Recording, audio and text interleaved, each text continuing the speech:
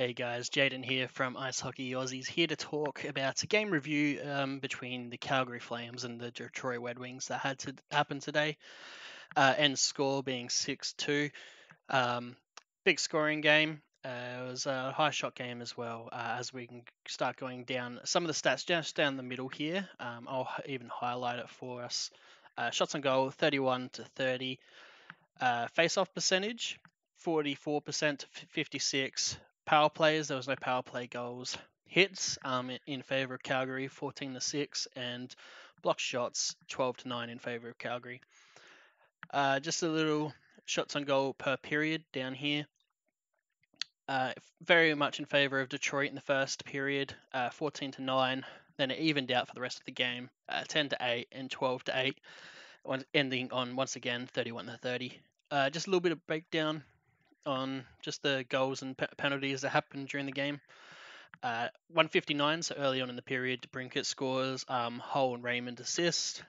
At 9:44, we have um, Detroit going 2 0 uh, from Veleno, um, Chiarot and Hull with the assist. And then going on to the left side, just a couple uh, um, penalties to round out the um, first period on Calgary side. Uh, Blake Coleman on hooking on Veleno and uh, Kadri tripping Larkin. And going into the second, another early um, goal in the period. This from Larkin, um, assisted by Brinkett to set it for 3 0.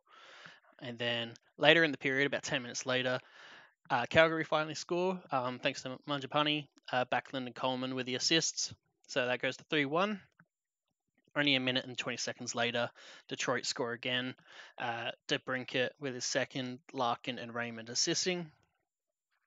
And then five minutes later, in the second, Sharangovich, uh, assisted by Dewar and Zadorov, uh, setting it to 4 2, um, ending the second, four goals in the second period. Uh, so a lot of action going on and a little bit of back and forth in the second.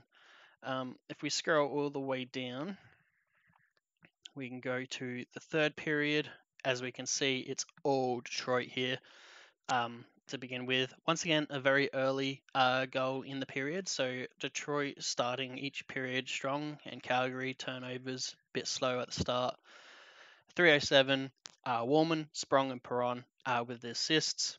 At 3:44, so only 37 seconds later, uh, Detroit get their sixth goal. DeBrincat finishes his hat trick. Raymond with the hat trick of assists, and Hull with the hat trick of assists uh, completed there as well. So three assists for Raymond and three for Hull. DeBrincat finishes the hat trick. Uh, 728, we got Olli Maatta hooking against Blake Coleman. A little bit of chance to get back, uh, especially with James Rama tripping. Uh, so uh, at um, 812, a little bit of a 5v3.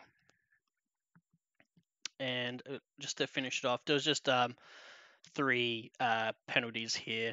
Uh, Lindholm giving two of them with a hooking and a tripping, and then Greer with a cross check against Ghost uh, right at the end of the game, so not too important there.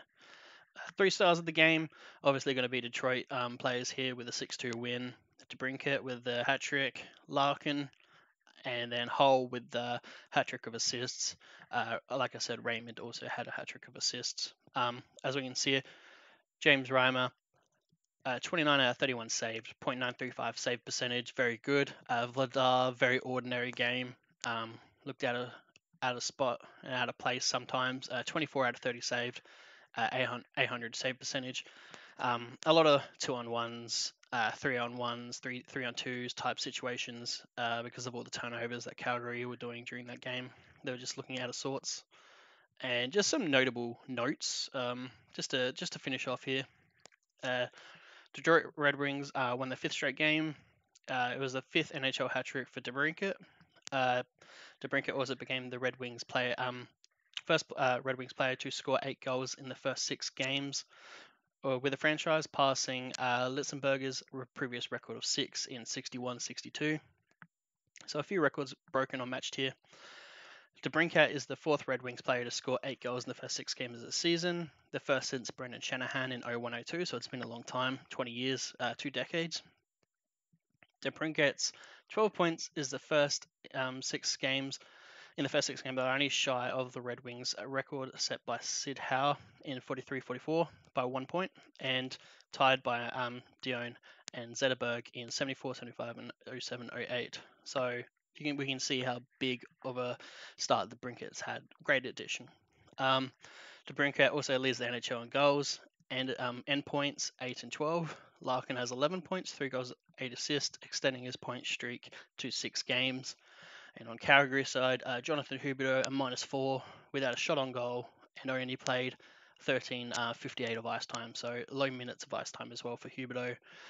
Um, with that addition, I think he has like 33 points um, out of in 38 games against Detroit. So he normally does like to play against Detroit, not a point per game player, and he gets nothing here. Um, but yeah, that's just a little recap of the Calgary and Detroit game. Uh, what happened there? Pretty, pretty dominant um, game by Detroit in the sense that Calgary were just too many turnovers, and that's really just led to too many two on ones, odd man situations, which led to, uh, unfortunately, just too many going in the back of the net, and Vladar having a little bit of an off game. But yeah, don't feel free to check us out on Ice Hockey Aussies. Uh, we do more content, power rankings, and whatnot. So yeah, check our channel. Feel free to comment below what you think of this game, and like and subscribe. But until next time, catch you guys.